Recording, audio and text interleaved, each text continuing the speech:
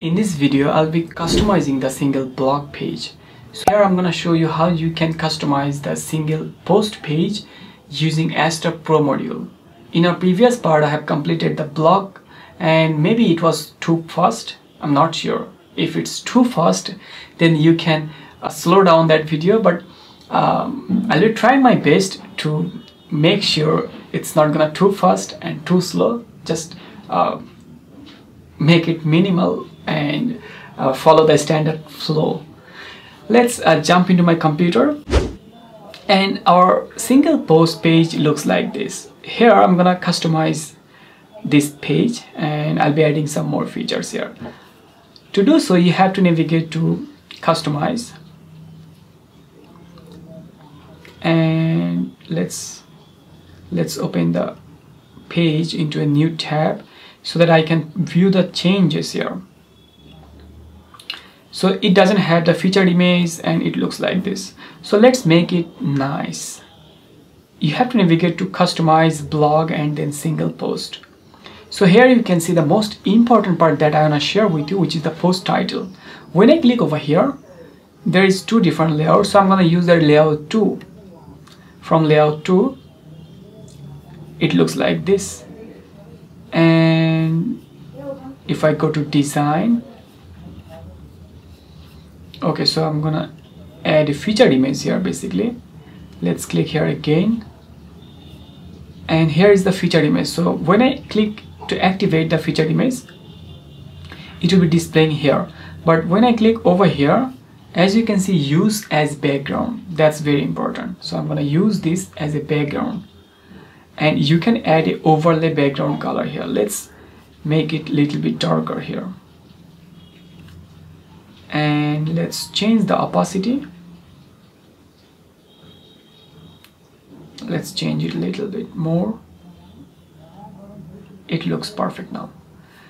Now what I'm gonna do I'm going to add some spacing here inside this area. So I'm gonna add a minimum height. Let's add. And let's change the title color to white color and the other comments another color it looks perfect. So you can change the font size but I have already added them globally but I'll be showing you the design tab. Just um, let me complete the general tab first.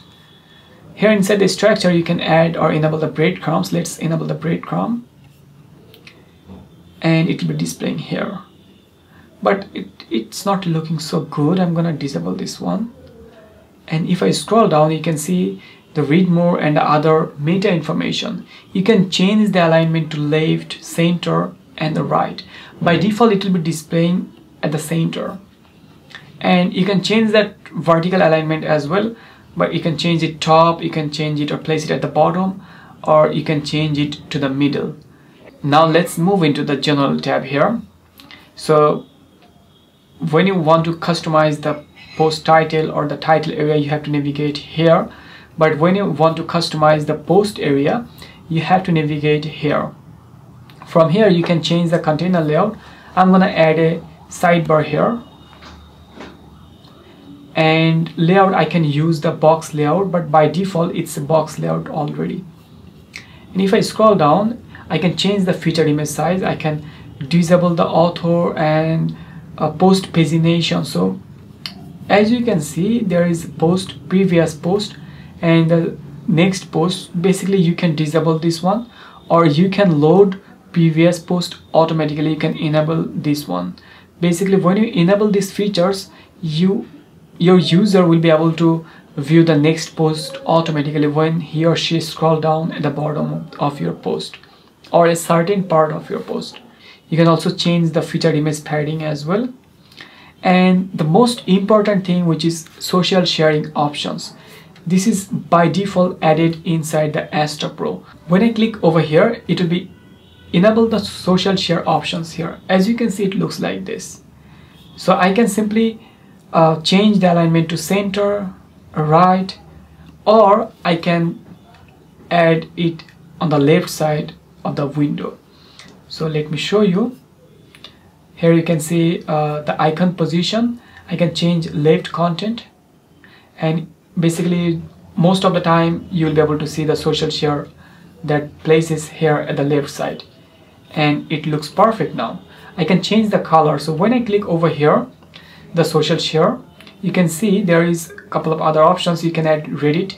You can add WhatsApp. Let's add WhatsApp here. And let's change or you can add label as well. So when I click over here it will be displaying as a label but it's not looking so good. I'm gonna disable this one. And you can change okay basically the icon position is already have set up here. And that's it for the social sharing. But when I click on design there is all the options. Like if you take a look at here the first the first section called social sharing basically it's all about social sharing. You can change the color type. You can change it from official to custom color. You can change its background color. You can change the icon size icon spacing. So let's add something here. So I'm gonna change it to different color and let's make it black and a little bit transparent.